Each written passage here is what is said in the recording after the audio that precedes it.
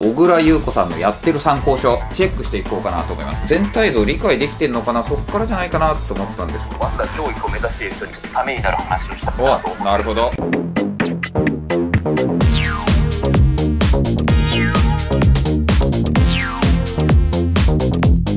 そうで始まりました。モテチャンネル。さあ、今回はですね、早稲田を目指す小倉優子さんのやってる参考書、ちょっとチェックしていこうかなと思います。で、まあ私は英語専門なんで、それ以外の部分ですね、英語以外の部分は、早稲田合格塾のね、平先生に連絡して聞いてみようと思います。まあ彼、日本史もね、国語もわかるし、あ、まあ英語もわかるんですね。彼、英語と国語の教員免許を持ってるんですよ、実はね。どうもですね、インスタグラムに載っててんですよ、参考書がですね。いろいろとやってたので、ちょっとそれらをね、見ていこうかなと思います。まあ本人とね、喋った時にも、やっぱいろんな参考書欲しくなっちゃうって言ってて、見たら買いたくなっちゃうって言ってたんですけど、まあ英語に関して言えば、レベルがちょっとバラバラじゃないかなっていう印象ですね。積み上げ式でやってはいるけれども、ちょっとつまんでるっぽくないっていうのが思った。このだから長文の問題とかできてるのかなというね、感じで思ったんですけど、ちょっと見ていきますね。はい。まずここに映ってる1から鍛える英語長文ですね。内川先生と武藤先生のやつですね。僕はこの1から鍛えるのリスニングと文法の方を書いてます。僕の方じゃなかった長文。1から鍛える英語長文300。あ、これ300っていうのは305レベルってことですね。305の、だからつまり短めのやつです。まあ、この後500とか700とかあるんですよ。ただ長文やる前にやっぱね、積み立ててた方がいいなっていうね、他のもちゃんとやっといた方がいいよっていうので、後ろに映ってるのが入門英文解釈70なんですよ。ただ入門英文解釈70は難しいんじゃないかなと正直思いますね。で、スクランブル載ってて、スクランブルっていうのがネクステ系ですね。だからネクステ系のもやってんだと思ったんですけど、文法ただ全体像理解できてんのかなそっからじゃないかなと思ったんですけど、はい、パッとですね、こちらの見てみるとですね、構文読解がこの入門英文解釈の70で、で、単語がターゲットとターゲット R も映ってますよね。これだ、文で覚える方ですね。で、英語長文のハイトレの2が映ってるんですね。標準編ですね。ハイパートレーニング。なかなかちょっとハイトレには厳しいんじゃないかなと思いますね。で、共通テストのそうそう勉強するって言ってたんで、だから共通テスト実践問題集ですね。東進のやつですね、これね。安河内先生ですね、この英語リーディングは。という形で、安河内さん、安河内さん、武藤先生で、こう結構東進講師がね、3冊並んでるんですけど、その下にですね、高校英文法一つ一つ分かりやすくがあるんで、富岡先生の書いてるやつですね。だからこれが一番簡単なやつのはずなんですよ。まずここを完璧に仕上げることの方が大事じゃないかなと思いますね。あのね、絵とかがね、分かりやすい。まあ、学研なんで、そこ皆さんは学研なんでって言ったら、え、何？ってなると思うんですけど、あのね、絵がね、分かりやすくてね、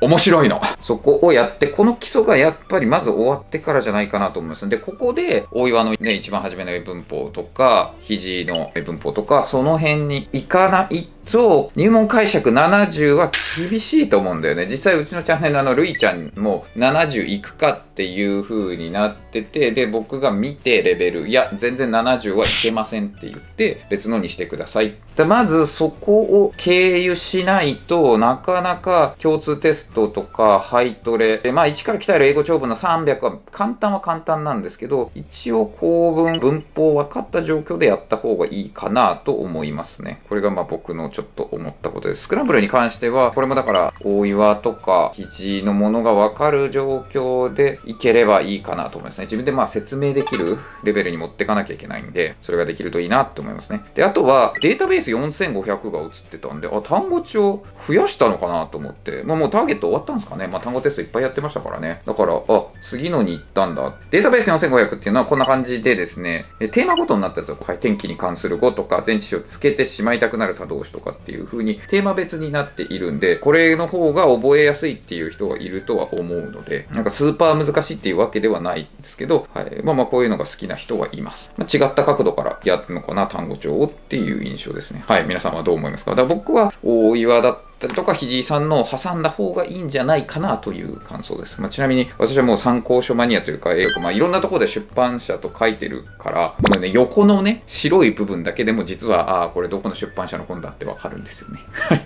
では、他のものに対して、平さんにアドバイス求めましょう。そして皆さんの意見ね、えーぜひコメント欄に書いてください。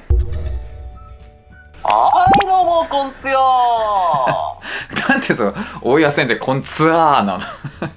なドイツ語っぽくないです。ということで、早稲田合格塾の平先生、大倉さんのやっているえー参考書どうなのかっていうね、このインスタに出てる写真から参考書を特定するということをやってるんですけど、もうさ、暇だね。やってること。なんか共通テストの箱物なのか共通テストっぽい日本史のやつやってるなっていうのはわかるんですけど、資料写ってて。ちょっと古文と日本史のやつは見えるなっていうことで、古文も日本史も平さんはね、やってますから。あわかりますよ。はい、なのえで、その辺のことを聞きたいな。じゃあ、この日本史の、まずじゃあ、この一問一答、山川のやつ。よね。山川ですね、はいこれはね。小倉さんがどうこうっていうことよりも、まあ、小倉さん以外の人に、早稲田教育を目指している人にちょっとためになる話をしたいなと思ってるんですけれども、おなるまあ、ぶっちゃけね、早稲田教育学部の日本史に関してですけど、うん去年も、そして今年に関しても、2021年、22年、やっぱりちょっと難しいですよ。だから、結構やっぱそれなりに用語に強い人であるっていうのは、もう必須ですね。おー、なるほど。まあこれはね、相沢先生もそうだし、うんあとは世界史家である鈴優とも話をするんですけど、問題見たらわかるらしいんですけど、早稲田の社会科目を作ってらっしゃる先生たちは、間違いなく山川の教科書を見てやっぱ問題作成してますね。ああ、なるほど。これは断言できるっていう話を二人もしてて、うん。で、特に世界史なんかは、なんか用語集の文言がほぼそのまま引用されたりするぐらいの問題とかもまあ珍しくないらしくって、ほうほう結構やっぱりまあ山川の教科書や用語集っていうものを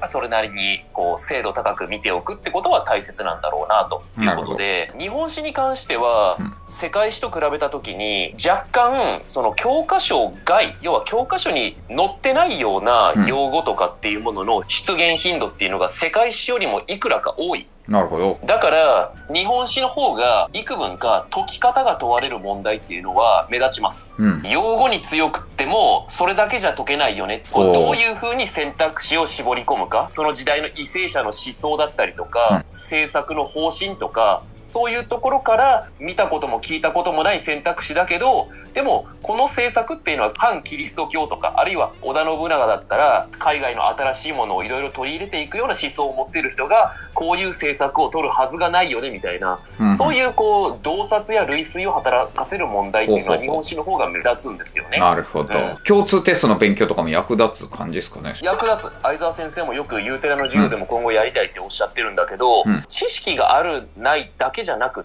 てどう資料を読み取るか、うんそして選択肢をどう絞り込んでいくかっていう、その解き方の部分っていうものをすごくこう早稲田っていうのは巧妙にやってくるんでただし知識の量に応じて解き方も厚みが出てくるんでだから小倉さんがこの一問一答をやってるっていうのはやっぱりそれだけこう用語に強くなるということでもあるから重要です。なるほど。相沢先生もね、共通テストの講座をやってくれるといいな。いや、やるって言ってるよ。平先生もやってくれるといいな。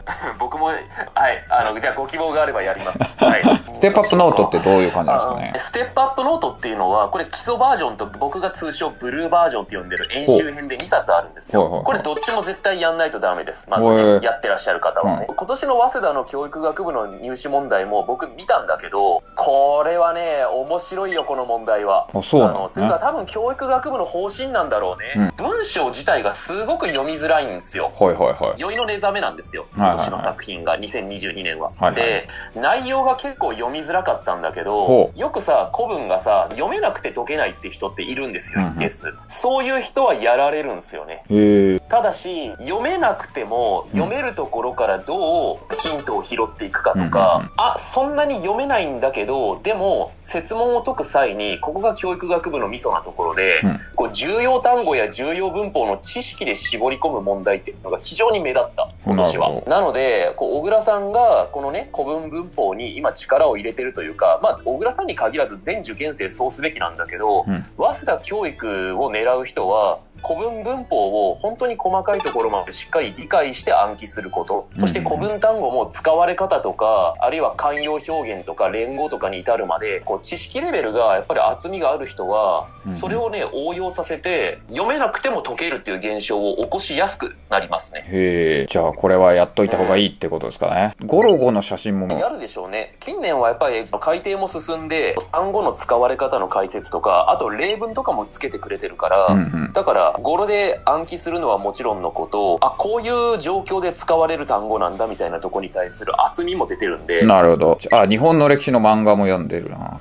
いはい 小倉さんらしいわ。中学3年分丸ごと総復習社会っていうのが。いや社会中学からやった方がいいんですか、日本史。うーん、まあ、やっぱ戻った方がいいでしょうね。あの、細かいですからね、日本史はね。そうなんだ。暗記科目というか社会科のこう上手な勉強法っていうのは最初から何でもかんでも細かいことを全部入れようとしないってことは重要なんですよ。はいはいはい。結構ね、その受験生見てると、先生、あの、僕もう鎌倉時代まで来たんだけど、平安時代とかもうポロポロポロポロ忘れてるのが不安で、うん復習してもいいですかとか言い出すやつ多いんですけど、気持ちはわかるんだけど、そうすると全然前に進めなくなるし、うん日本史とか社会科の科目って、ざっくり全体をまず、全体像みたいなのを掴んでから、で、うん細かいところを入れていくっていうのが、まあ、現実的な上手な勉強法なんですよ。そうですね。はい。ということで、はい早稲田専門の塾の、はい、平先生からのどういう参考書なのか聞きました。はい。ね、早稲田を受ける方は参考にしてもらえればいいんじゃないかなと思います。はい。ぜひ、ユーテラも見てください。はい。ご視聴ありがとうございました。失礼します。